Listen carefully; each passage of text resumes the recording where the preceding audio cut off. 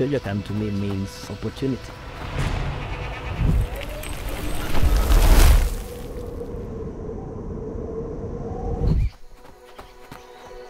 If you come here, you can change your life.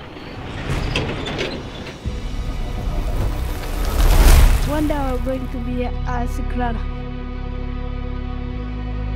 We have chosen this place because it is the mecca of running.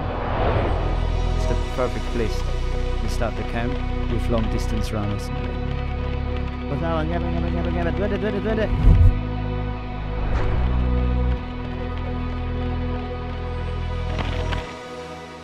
You can find many people to share your passion and people are really passionate about running here.